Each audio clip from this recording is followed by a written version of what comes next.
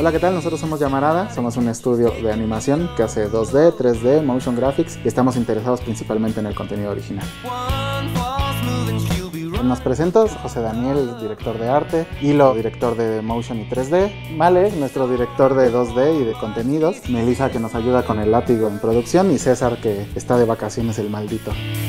En Llamarada hemos trabajado para marcas como Nesquik, Jack Daniels, Food o Santillana, también para varios museos como el Gran Museo del Mundo Maya, pero lo que más nos interesa es nuestros contenidos personales. Eh, tenemos ocho cortometrajes como Las tardes de Tintico, Santolo, Jardín de las Delicias, entre otros cortos.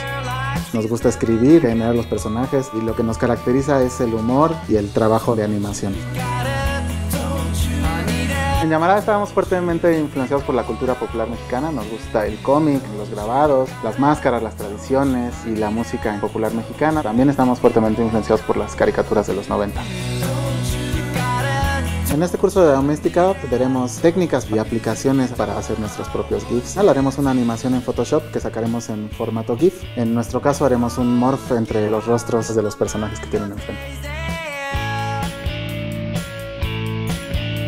Para empezar, van a conocernos mejor, vamos a mostrarles nuestras influencias, lo que nos gusta y todo lo que nos ayuda para la inspiración en el trabajo.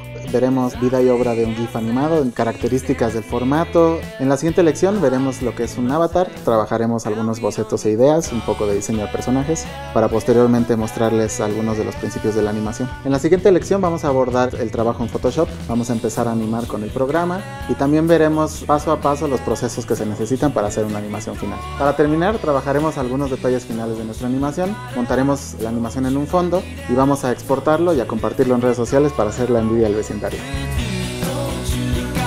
Para tomar este curso lo único que necesitan es alguna habilidad con el dibujo y si le pican un poquito al Photoshop está increíble, si no vamos a ir paso por paso y haremos todos los procesos tranquilamente, verán que es fácil.